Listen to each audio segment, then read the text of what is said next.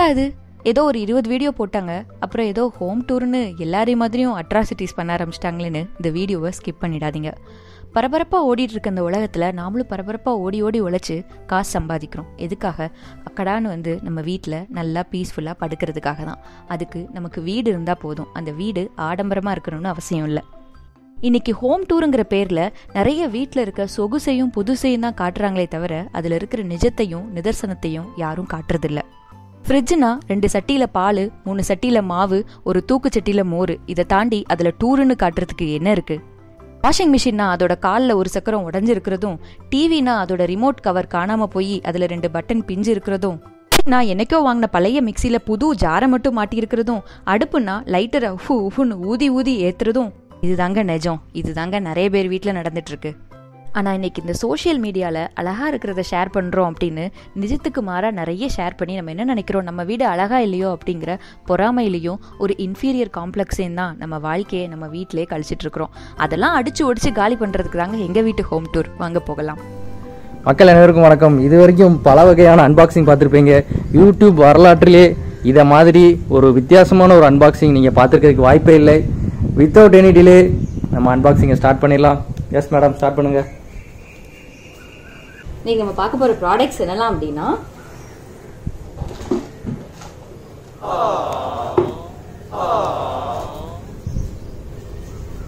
என்ன ஏதோ கலாய்க்கிற மாதிரி இருக்குது.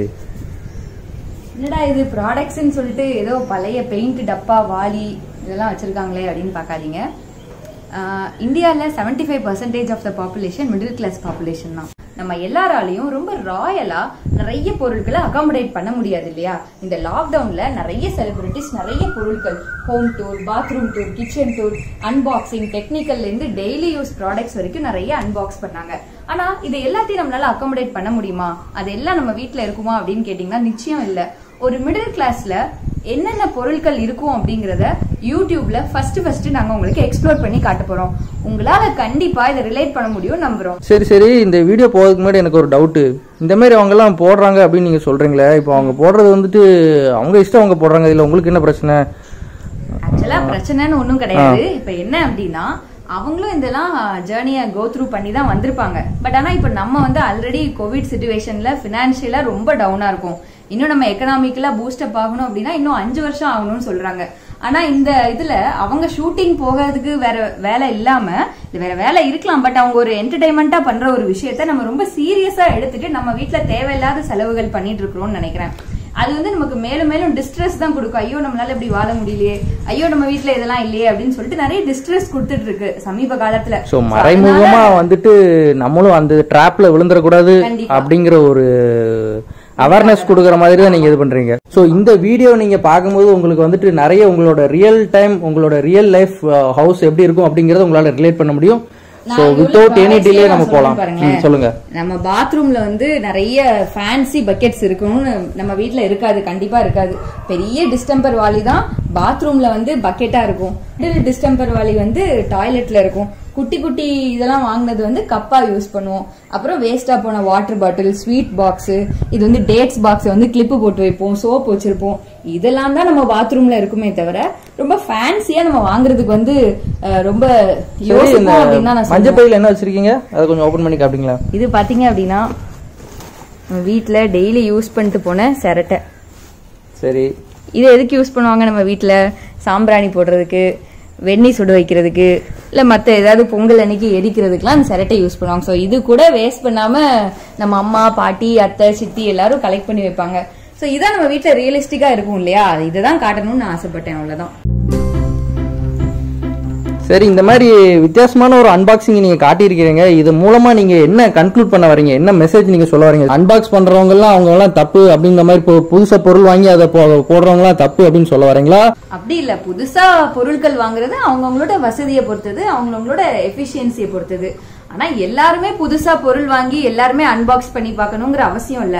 இன்னைக்கு ஜெனரேஷன் எப்படி இருக்கும் அப்படின்னா ஒரு பொருள் உடஞ்சிருச்சு அப்படின்னா அதை உடனே தூர போட்டுட்டு போயிட்டே இருக்கிறோம் இல்லையா? அந்த பொருளை உடஞ்ச பொருளை எப்படி ரீயூஸ் பண்றோங்கிறது நமக்கு தெரியல.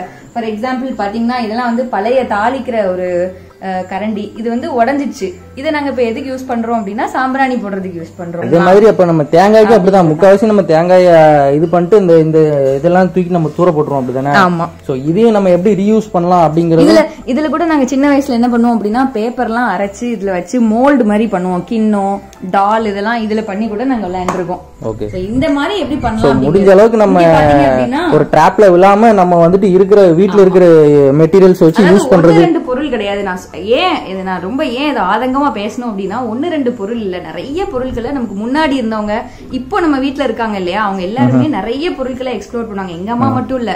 இந்த வீடியோ பார்த்துருக்க உங்க வீட்ல உங்க அம்மா உங்க பாட்டி உங்க சித்தி உங்க அத்தை எல்லாருமே இதுல ரொம்ப ரொம்ப என்ன சொல்ற ரொம்ப எக்ஸ்பர்ட்டா இருந்தாங்க. ஆனா நம்ம அதெல்லாமே இன்னைக்கு மறந்துட்டோம்.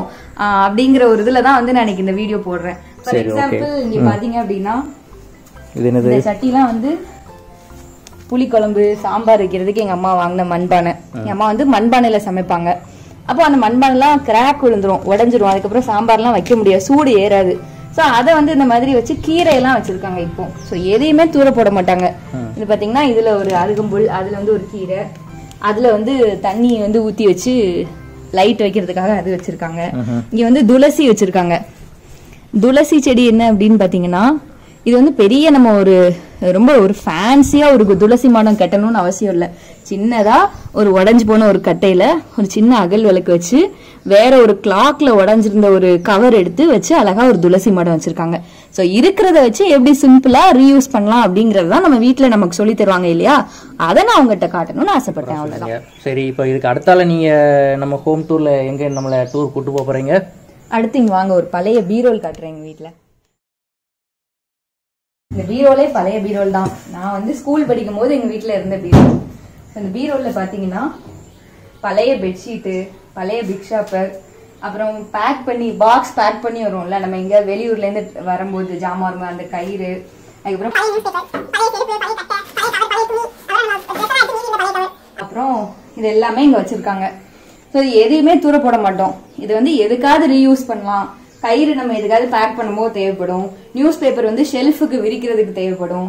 கவர் வந்து யாராவது கெஸ்ட் வந்தாங்க எதுவும் கொடுத்து அனுப்பினா நம்ம கவர் தேவைப்படும்.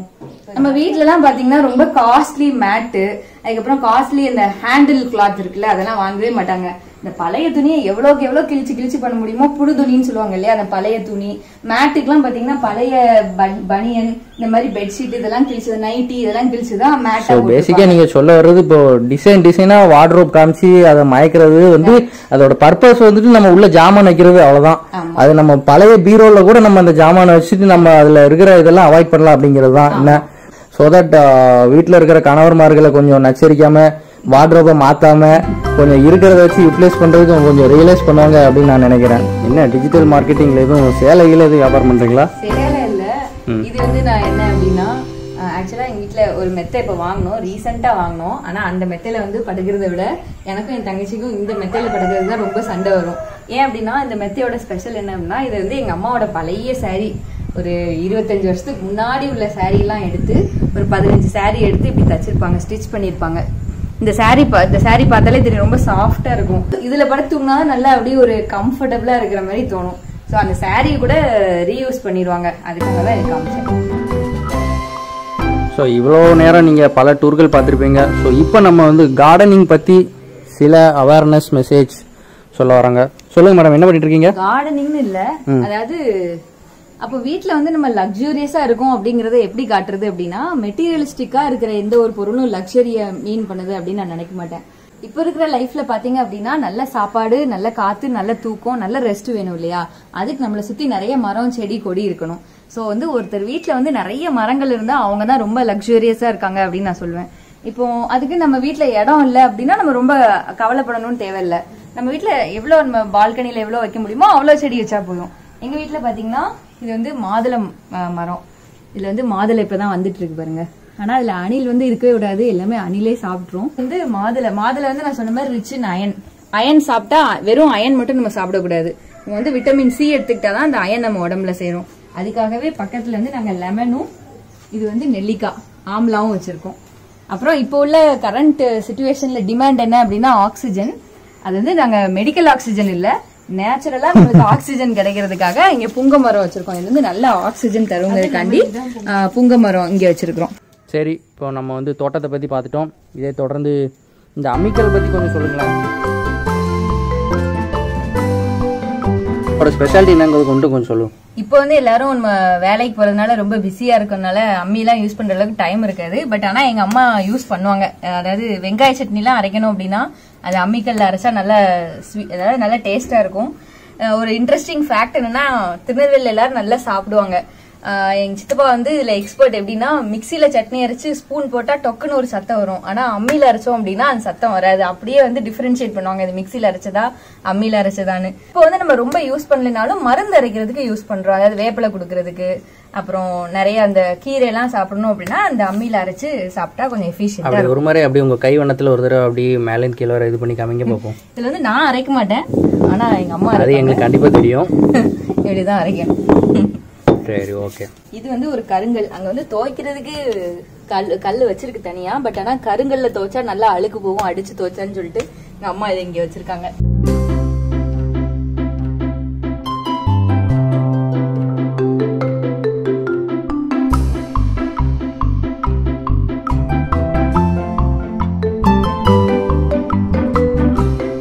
சொல்லுங்கள் மேடம் என்ன பண்ணிட்டு இருக்கீங்க? இதான் எங்க வீட்டு சிட் அவுட் நிறைய பேர் வந்து என்னன்னா சிட் அவுட்ல வந்து ரொம்ப காஸ்ட்லியா எக்ஸ்பென்சிவா சோஃபா எல்லாம் போட்டு குஷன் லேயர் எல்லாம் போட்டு தான் உட்காரணும்னு நினைப்பாங்க. பட் நாங்க வந்து என்ன பண்ணிருக்கோம்னா இது வந்து எங்க தாத்தா கொடுத்த பழைய ஊஞ்சல் பலகை. இத வந்து ஒருத்தர்ட்ட கொடுத்து அதுக்கு கால் கொடுத்து சிட் அவுட்ல போட்டிருக்கோம் இதுல உட்காந்துக்கலாம் படுத்துக்கலாம் படுத்து ஸோ ஆக்சுவலாக சில பேர் வந்துட்டு இது தின்ன மாதிரியே கட்டிடுவாங்க சிமெண்ட்ல வந்துட்டு. சிட் அவுட் கீழ இருந்து தின்ன மாதிரி கட்டிட்டு மேல போட்டிருக்கோம் பெர்மனண்டாவே நம்ம வந்துட்டு உட்கார்றதுக்கு ரொம்ப சீப் அண்ட் பெஸ்டா காத்தோட்டமா? வச்சிருக்கோம் ஆமா. ஸோ வெளி வெளியில பார்த்தீங்கன்னா எங்களோட சிட் அவுட் இந்த மாதிரி தான் இருக்கும். இங்கே உட்காந்துட்டு இயற்கையை ரசிக்க வேண்டியதான்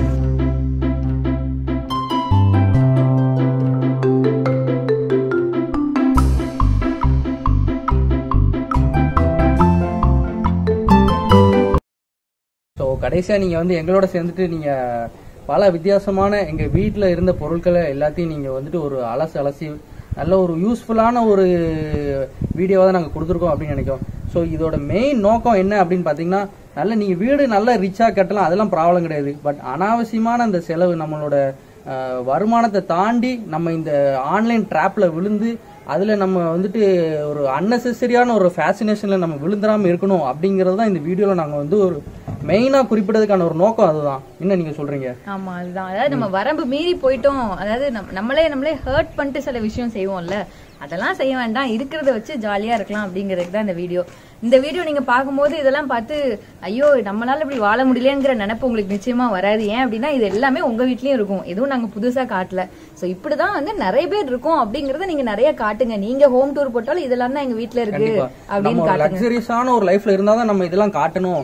என்னடா இதெல்லாம் நம்ம காட்டினா நம்மள ஏதாவது கலாய்ச்சிருவாங்களா அப்படிலாம் நம்ம நினைக்க கூடாது. நம்ம வீட்ல இருக்கிறது தான் முக்காவாசியான மக்கள் யூஸ் பண்ணுவாங்க. ஸோ அந்த ஒரு பாசிட்டிவ் தாட்டோட உங்க வீட்ல நல்லதா என்ன இருந்தாலும் அதை நீங்க கண்டிப்பா காட்டலாம். ரீசெண்டா பாத்தீங்க அப்படின்னா நான் பாத்துட்டு வர எல்லா விளாக்லயுமே கண்ணுல படுற எல்லா விளாக்லயுமே என்னன்னா ஒரு பெரிய புத்தர் ஸ்டாச்சு ஒரு ஆள் உயர ஒரு ஃபவுண்டைன் வச்சு இதெல்லாம் இருந்தாதான் வீட்டுக்கு வந்து பீஸ் இருக்கும் உங்க மனசுல பீஸ் இருக்கும் அப்படிங்கிறாங்க. அப்படிலாம் ஒண்ணும் இல்ல. அதாவது ஆசையே வேண்டாம்னு சொன்ன புத்தரை வைக்கிறதா இன்னைக்கு நிறைய பேர் ஆசையா வச்சிருக்காங்க. அப்படிலாம் இருக்கணும்னு அவசியம் இல்ல. நீட்டா நம்ம வீட்ல எல்லாம் பாட்டிலாம் சொல்லுவாங்கல்ல பெருக்கி வச்சு மோங் கழுவி நீட்டா உட்கார்ந்தாலே மனசுக்கு பீஸ் கிடைக்கும். நீங்க ரொம்ப காஸ்ட்லியா செலவு பண்ணி தான் உங்களுக்கு பீஸ் வரணுங்கிற அவசியம் எதுவும் இல்ல. இருக்கிறத நீட்டா வச்சிருந்தாலே நம்ம ஹாப்பியா இருக்கலாம் சந்தோஷமா இருக்கலாம். ஸோ இந்த வீடியோ உங்களுக்கு பிடிச்சிருந்தது அப்படின்னா கண்டிப்பா உங்களோட கருத்துக்களை கமெண்ட் செக்ஷன்ல ஷேர் பண்ணுங்க. அண்ட் இதே மாதிரி பொக்கிஷமான பொருட்கள் நீங்க இன்னும் ஒரு ஐம்பது வருஷமாவோ இல்லை இருபத்தஞ்சு வருஷமோ இல்லை அட்லீஸ்ட் ஒரு ஒரு பத்து வருஷத்துக்கு மேல நீங்க என்னென்ன பொருட்கள் யூஸ் பண்றீங்களோ அந்த மாதிரி பொருட்களை நீங்க கமெண்ட் செக்ஷன்ல போடுங்க. அண்ட் மறக்காம கனா பார்வைக்கு சப்ஸ்கிரைப் பண்ணுங்க. Thank you bye